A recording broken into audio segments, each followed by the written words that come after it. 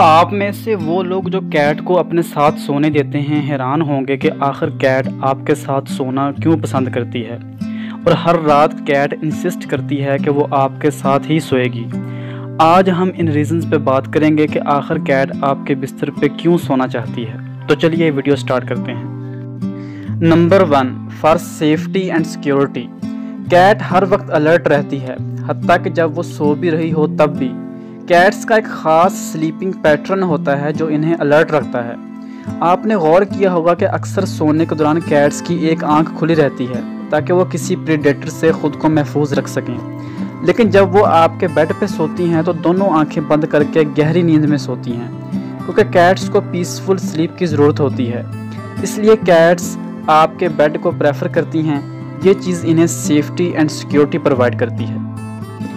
Number two for heat अक्सर सर्दियों के मौसम में कैट्स बेड पे सोने को प्रेफर करती हैं, या घर का कोई कोना तलाश करती हैं जहाँ प्रॉपर हीट हो। क्योंकि कैट्स की बॉडी का एवरेज टेम्परेचर 99.5 से 102.5 डिग्री हाइट होता है।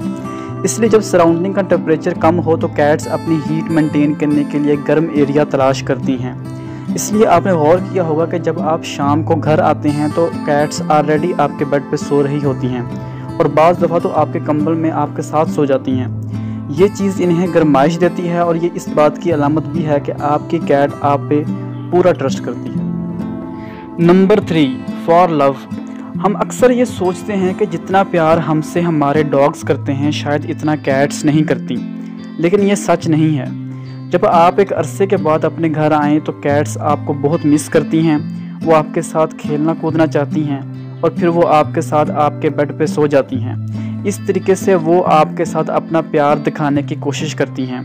कभी वो आपके ऊपर सोती है, कभी सर पे चढ़ जाती है और कभी आपको लिक करना शुरू कर देती हैं। इन सब तरीक़ों से वो आपके साथ अपना प्यार शो कर रही होती हैं। Number four cats are territorial आप जानते हैं कि ये आपका बेड है, लेकिन कैट्स ये समझती हैं कि ये उनका बेड है, क्योंकि इन्हें आप पर बहुत ज़्यादा ट्रस्ट है। बेसिकली कैट्स सोने से पहले अपने टेरिटरी को मार्क करती हैं और वो ये समझती हैं कि आपका बेड उसकी टेरिटरी है, यानी उसका इलाका है। कैट्स ये सिर्फ़ इसलिए करती हैं क्योंकि आप अपनी कैट की इनफ केयर करते हैं और यही केयर कैट के दिल में आपका प्यार पैदा करती है। इसलिए वो आपके बेड को अपना बेड समझती है। नंबर फाइव फॉर कंफर्ट आप ये बात पहले ही से जानते हैं कि आपका कंबल नरम बिस्तर और हवादार कमरा एक पुरस्कून जगह है, यानी एक कंफर्टेबल जगह है। और ये बात आपकी कैट भी अच्छी तरह जानती है। और वो ये समझती है कि आपका बेड सबसे ज़्यादा कंफर्टेबल जगह है। वैसे भी कैट्स अपने दिन का ज़्यादातर वक्त सोने में ही गुजारती हैं, यानी 12 से 15 घंटे तक सोती हैं। आपके बेड के अलावा और भी कंफर्टेबल जगह घर में होती हैं, लेकिन कैट को सबसे ज़्यादा कंफर्ट आपका बेड ही प्रोवाइड कर सकता है। इसलिए कैट्स की फेवरेट जगह आपका बेडरूम ही होता है। क्या आप अपनी कैट को अपने साथ सोने के लिए अलाउ करते हैं? हमें कमेंट्स में लाजमी बताइएगा। आप इजीली अपनी कैट को अपने साथ सुला सकते हैं, लेकिन इस बात का ध्यान रखिएगा कि कहीं आपको कैट के बालों से एलर्जी तो नहीं? और क्या इनकी डिवर्मिंग और वैक्सीनेशन हो चुकी है?